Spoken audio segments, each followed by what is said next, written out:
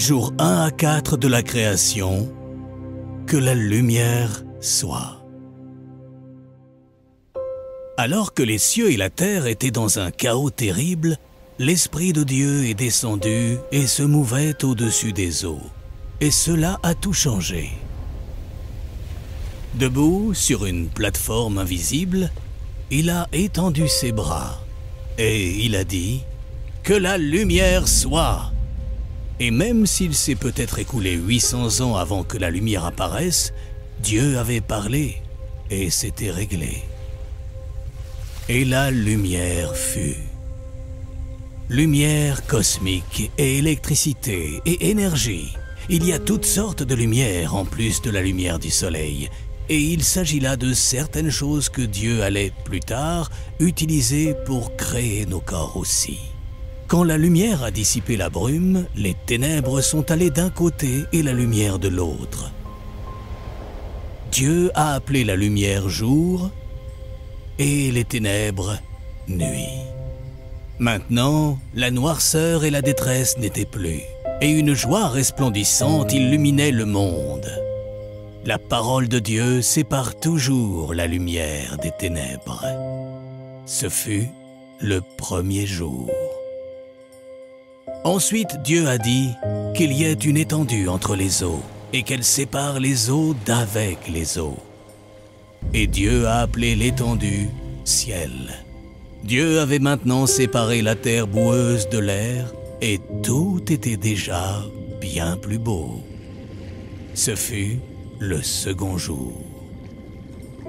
Puis Dieu a dit que les eaux qui sont au-dessous du ciel se rassemblent en un seul lieu et que le sec paraisse. Et probablement que pendant des centaines d'années, il y avait des éruptions volcaniques et des tremblements de terre qui ont fait émerger des collines et des montagnes. Puis, alors que les eaux s'amassaient dans les creux, la terre a commencé à sécher. Et Dieu a appelé le sec terre, et il a appelé l'amas des eaux mer. Dieu a vu que cela était bon. Le chaos se faisait transformer en quelque chose de magnifique. Ce fut le troisième jour. Mais Dieu a aussi fait autre chose le troisième jour. Dieu a dit, que la terre produise de la verdure, de l'herbe portant de la semence, des arbres fruitiers donnant du fruit selon leur espèce et ayant en eux leur semence sur la terre. Que toute la terre soit couverte de plantes. Et quand Dieu a parlé, il en a été ainsi. Les plantes ne sont pas apparues soudainement.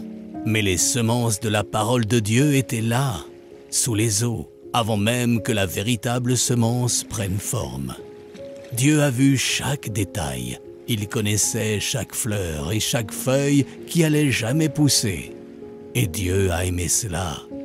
Et il a dit que cela était bon. Et ce fut le troisième jour.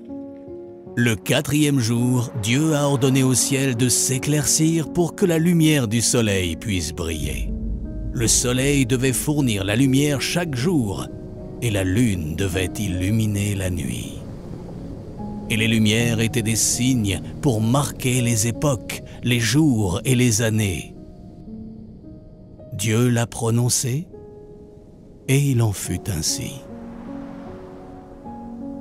La Bible dit ensuite que Dieu fit les deux grands luminaires, le plus grand luminaire pour présider au jour et le plus petit luminaire pour présider à la nuit. Il fit aussi les étoiles.